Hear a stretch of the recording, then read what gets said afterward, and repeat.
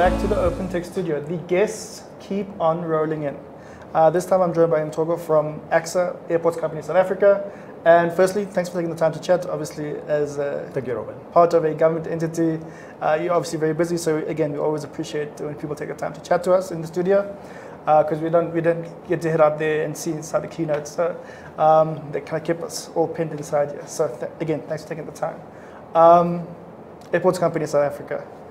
Uh, before we kind of get into all of that stuff, perhaps your role there, can you just unpack it for the people that are tuning into the live stream? Okay, so uh, I'm a group CIO at the Airports Company South Africa. We run a network of nine airports in the country. So um, we're one of the government wholly owned companies uh, or state owned entities. So that's what we do. Great stuff. Um, then if I may, government or state-owned entities have taken a bit of flack, not necessarily ACSA, but some of the other ones. Yeah. Um, what has your role as Group CIO been in terms of winning back or perhaps keeping South African citizens' confidence in the company itself? How has that kind of been for you guys? So it, it has been a difficult journey. Uh, if you take back um, starting 2020 when we had COVID, so we're a company that has lost probably in revenue uh, base uh, over three and a half billion rands uh, in terms of loss of, of sales.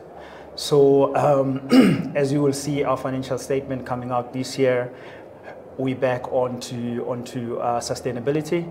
Uh, we're breaking even, so we're hoping that as the passenger numbers are growing um, uh, in the next year, we will be starting to be profitable. Uh, great stuff. Yeah. And then move to profitability, um, I'm assuming it wasn't just a case of waiting for things to return to normal. I'm assuming ACSA was quite proactive in terms of what it was trying to do. Can you perhaps unpack some of the strategies that you as a company were trying to kind of push forward? Okay, so what we've done as a company uh, between 2020 and now is optimizing our our um, operations. So we have managed to reduce our operational spend by over 30 percent. So in the past three years. So those are the key things that we've been doing, and um, we have stabilized our environment from a technology standpoint. Uh, introduced um, a lot of cloud-based solutions into into the environment, and as you will see in the next two years, we're gonna start to introduce uh, self-service type um, services to our to our passengers, just to make sure that the passenger experience actually start to grow. Sure. Uh, what kind of other things are you planning as far as improving customer experience is concerned?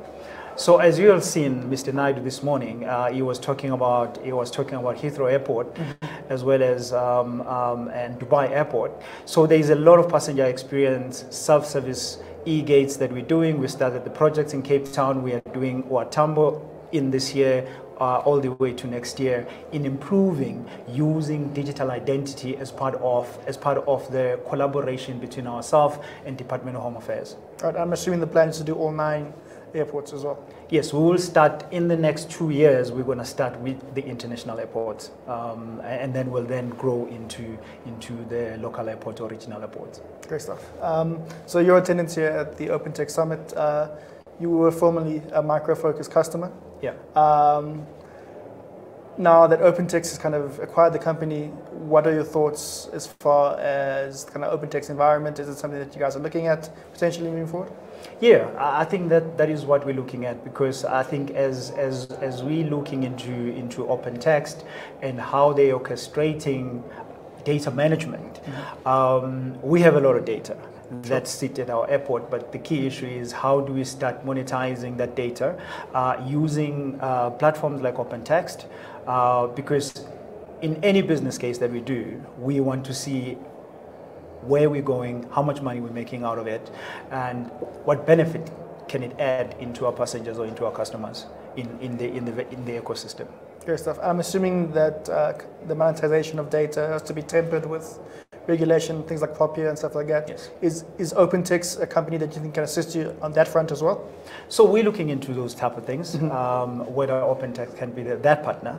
Um, but we we looking into their their use cases they've been doing, especially in Dubai and um, and other big banking customers and telco companies in the country, including including SARS. I think they they're doing fantastic in the in those areas. But those are the use cases that we're looking into in as to how can we benefit into what they've done in government for us to collaborate with the other agencies of government without recreating some of the things that has already been created.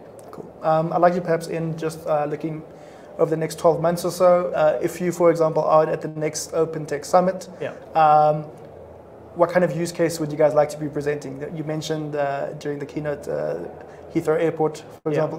What kind of presentation would ACSA would like to kind of present? So I I think I think the ambition that we have as a company is um, how can we facilitate frictionless travel uh, through our all nine airports as a passenger. Uh, without you getting stuck, without you talking to anyone before you come into your destination. So that is the use case that we want to drive. That is the use case that we want to see happening in real life. Oh, great stuff. Yeah. I'm assuming not only as group CIO, but Yeah. as a frequent flyer yourself, Yes. you likely want to have the same experience. So hopefully that does come to fruition. Uh, again, we do appreciate you taking the time to chat to us. Thank you Um, very much. And uh, we will be having more interviews uh, coming up uh, during the course of the day. Only not even halfway through all of our uh, kind of uh, scheduled interviews that will be taking place at the OpenText Summit. So do check in with us a bit later, and we'll have some more guests with some insightful insights. So Thank Thanks you, again. Thank you very much for having me. sure. thing. Thank you.